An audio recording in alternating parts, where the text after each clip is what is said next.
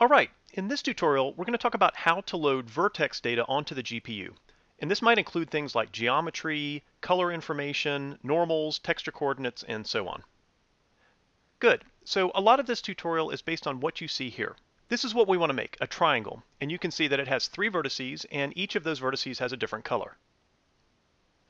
Now, one of the underlying assumptions for this example is that we're going to be working in the normalized device coordinate system. What this means is that the range of our coordinate system is going to be between negative 1 and positive 1. So, for example, if we wanted a vertex to appear on the left-hand side of the screen, its x-coordinate would be negative, and if we wanted it to appear on the right-hand side of the screen, it would be positive. Similarly, if we wanted the vertex to appear in the top half of the screen, it would be positive, and if we wanted it in the bottom half, it would be negative.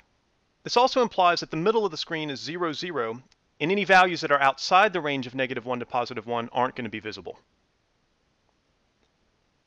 Based on that, you can see that our triangle has the following coordinates.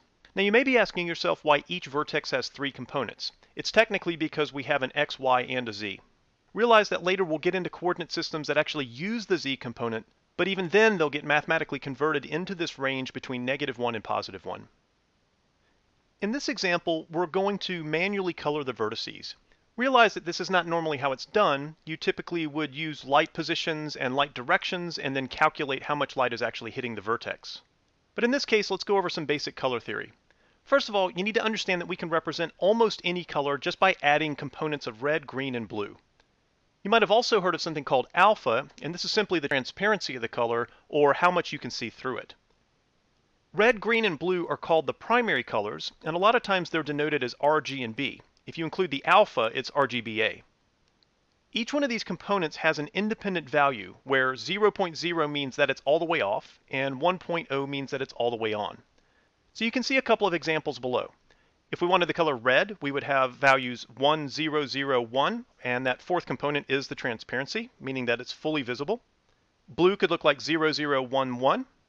To show that these channels are independent, you might have 1011, which would be the color purple, or 1101, which would be the color yellow. And then over on the right-hand side, you can see that to make the color white, all channels would be all the way on. And to make the color black, all channels would be off except for the transparency. To make something in between black and white, or gray, you can see that it's 0.5, 0.5, 0.5, and 1. And then we can do any kind of theme and variations past that point. We could make the color brown as 0.7, 0.5, 0.1, and 1. All right, based on that knowledge, you could see that the values of the colors of our vertices might look like what you see here. And this also brings up a really good discussion about interpolation. Notice that if I give values to each of these vertices, OpenGL automatically interpolates between those values. So if I give this vertex here the value blue, and I give this vertex here the value red, OpenGL is automatically going to interpolate along this edge between red and blue. And you can see the same thing is true between all of these vertices. One really nice thing about this interpolation is that it does go on in the shader, but it also works across our normals and our texture coordinates as well. So here's the basic problem. How do we get all of this information onto our graphics card? We realize that in addition to its position, each vertex typically has a normal and a texture coordinate associated with it, so we need to find a way to put that information onto the GPU and organize it in a meaningful way. So to begin with, what we're going to do is to create something called a buffer object. Realize that this is just a chunk of memory. It's very similar to an array, and it's nothing to be afraid of. This buffer object can be located in a couple of different places, but for now we're just going to leave it on the GPU. Now code-wise, to create a buffer object is not very difficult. In this first line right here, you can see that we're going to create an ID here, which is just a GLuint, and we're going to call it buffer. And then we're going to make a call to glgen buffers, telling it how many buffers we want to create. In this case, we're only going to create one. Once we've done that, it's going to put the ID of that buffer into this variable that we've passed here called buffer. Now usually immediately after that, you make a call to gl bind buffer, passing it the ID of the buffer that you want to bind. Now what does that mean to bind it? It means really to make it active. Anything that you do that's buffer related is going to be referring to that buffer. So for example, any drawing of triangles that you might do, that's going to come from the buffer, or any loading that you might do is going to go into that buffer. There are two different approaches that you might take when you're loading a buffer with data. For the first example, let's assume that everything is located in a glfloat array called data. If that's the case, we might do this one-shot call to gl buffer data. Now here you can see if we called gl buffer data, we would pass it this constant gl array buffer, followed by the size of the array, and this would be in bytes. and then we would pass it the actual data followed by this constant GL static draw. Once we've done that, it actually transfers everything that was in data over to GPU. Now there's a little bit of discussion about this last constant here, this GL static draw. It doesn't have to be GL static draw. We have a couple of different options, but it does follow this template here, GL underscore X underscore Y, where the X is either stream, static, or dynamic. Now for this class, realize that we're going to be using static almost exclusively, but realize that you do have the stream and dynamic options for how frequently this information is going to change. In other words, if you had some geometry that was changing frequently, you might look into the dynamic option. And for the Y part, it could be either draw, read, or copy, but here we're going to be using draw almost exclusively as well.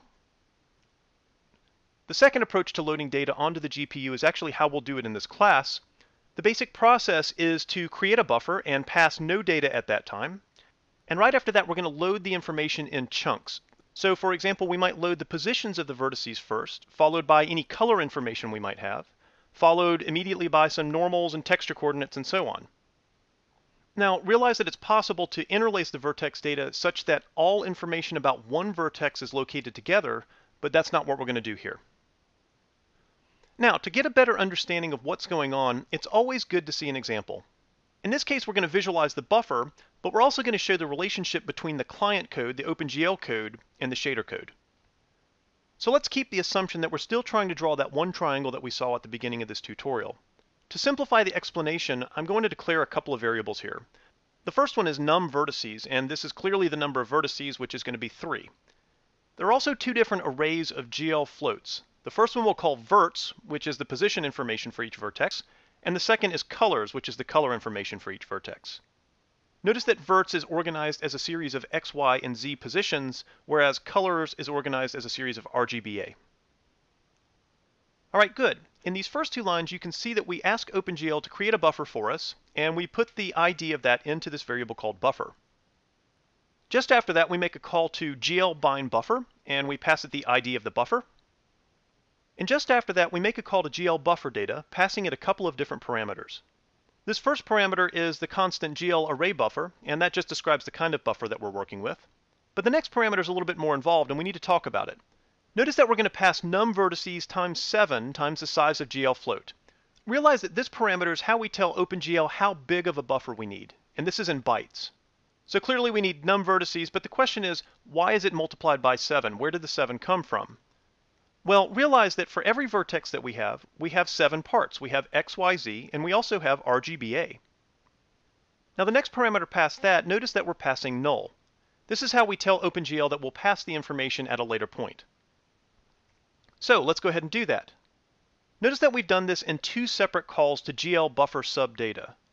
In the first call, we're going to load the position information, and in the second call, we're going to load the color information. Now, if we look at the parameters here, you can see that we still pass the constant GL array buffer, but the parameter past that is zero. Now, what does the zero mean? It means begin loading this information at the beginning of the buffer. The next parameter is the size of the information that we're going to put on the buffer. In this case, it's num vertices times 3 times the size of GL float, and the 3 comes from the x, y, and z components. And then the last parameter here is verts, which is our array of vertex positions. Now dropping down to the next call to GL buffer subdata, you can see it's really similar, but the second parameter is much different. Whereas previously we began to load at the beginning of the buffer by passing it a zero, here we're going to pass num vertices times 3 times size of GL float. In other words, we want to begin loading the color information just after loading the position information. The third parameter here is num vertices times 4, and again because of the RGBA. And then finally, as a last parameter, you have the array of color information. Okay, so what do we have so far? Right now we have a buffer that has an ID, and that buffer lives on the graphics card. The buffer currently is loaded with vertex position and color information. So the question is, how do we get that information to our shader? Or better yet, how does the shader access the information that's in the buffer? Well, to be able to pull this off, you have to query the shader program for its variables. Now, if you look at the code below, you can see that we're going to make a call to gl get attrib location. This function takes two parameters. It takes the shader program ID, and it also takes the name of one of the variables inside of that shader program. Now when this function runs, it's going to return us the ID of that variable inside that shader. And just to let you know, if it ever returns a negative 1, that means that it either couldn't find it or that variable was never used. Now it's not enough just to get the ID of the variable, we also have to enable it. And to do that, we're going to call GL enable vertex attrib array, passing it the ID of the variable that we want to turn on. In this case, vpos. And then as a last step, we can tell that variable where it can find the information it's looking for in the currently active buffer, as well as the format of that data. So let's see an example. In this example, you can see our OpenGL client code on the top part of the screen, and you can see our vertex shader on the bottom part of the screen. Now the first thing that we do in our OpenGL code is make a call to GL get attrib location, passing it the shader program ID as well as the variable that we're interested in. And again, this is going to return us the ID of v position in this case. Just after that, we make the variable active, and then we make a call to GL vertex attrib pointer. Now again, what we're trying to do with that call is to bind that variable to a particular spot in the buffer. In this case, what we're saying is that v position can find the information that it's looking for at the beginning of the buffer. Continuing on in our client code, you can see that we make another call to gl get attrib location, except this time we're interested in the variable vcolor. Now again, this is going to return us the ID of vcolor, and we're going to store that into lock2. Just after that, we enable it, and then we make another call to gl vertex pointer. In this case, the second parameter is different because it's RGBA. And then the last parameter is how far into the buffer it needs to go to find the beginning of the colors information. So here's what the final code would look like. Now there is one last thing that we need to talk about, and they're called vertex array objects. Realize that you don't have to use these things, but they are pretty convenient because they can remember almost everything about buffers. The basic idea is that you set them up once and then you call them just before you draw your triangles to the screen. Now, do you remember the headache of working with GL vertex attrib pointer? The nice thing is that vertex array objects can remember all that stuff. However, you need to keep in mind that it doesn't actually bind the vertex buffer object, so you have to do that manually. If you want to see an example of what that would look like code-wise, you can see these three lines of code here. In the first line, we declare a variable. In the second line, you call GL gen vertex arrays. And in this case, we want to create exactly one unique ID. And then in the third line, we call GL bind vertex array.